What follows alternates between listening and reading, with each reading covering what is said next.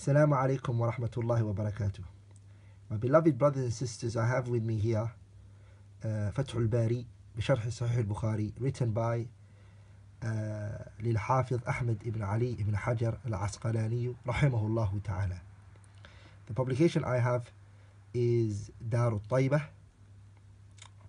and is as you can see المجلد the volume is السادس عشر It is the uh, 16th volume.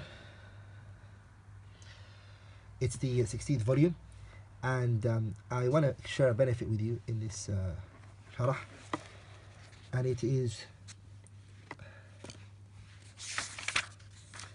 uh, Imam al-Bukhari, the chapter he chapter which is Babu كيف يكون كيف يك باب كيف الأمر إذا لم تكن جماعة باب كيف الأمر إذا لم تكن جماعة This is the long hadith of Hudayfa uh, ibn al-Yaman I just want to explain the statement of the Prophet ﷺ where he says فَاعْتَزِلْ تِلْكَ الْفِرَقَ كُلَّهَا Free yourself from all of the groups there are. Leave them. Stay away from them. Boycott them.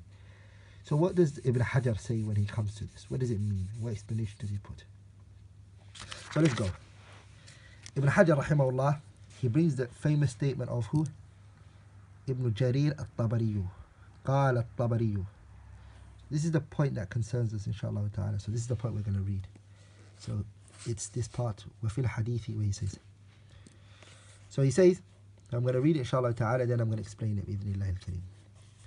So he says, وفي الحديث أنه متى لم يكن للناس إمام فافتقر الناس أحزابا فلا يتبع أحدا في الفرقة ويعتزل الجميع إن استطاع ذلك خشية من الوقوع في الشر. وعلى, وعلى ذلك يتنزل ما جاء في سائر الأحاديث وبه يجمع بين ما ظاهره الاختلاف منها. So let me repeat that one more time.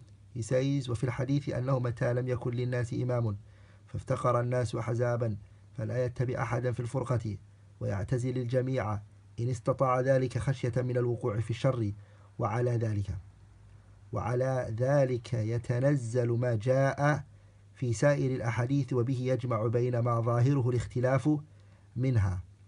He says ابن جرير الطبري he says وفي الحديث in this hadith is and the benefits that are in the hadith is is أنه متى لم يكن للناس إمام. When the Muslims don't have a leader a Muslim leader فافتقر الناس أحزابا and then the people become groups like we have groups today we have تبليغ we have حزب التحرير we have إخوان إخوان المسلمين we have this and that so we have these groups so what's the job of a, a person what does he do فافتقر الناس أحزابا فلا يتبع أحدا في الفرقة don't follow anyone in this don't follow any group ويعتزل ويعتزل الجميع and free yourself from every one of them إن استطاع ذلك if you're able to do that خشية من الوقوع في الشر because of the fear that you may fall into the evil وعلى ذلك and that understanding is what you will replace on يتنزل ما جاء في سائر الحديث all the other hadith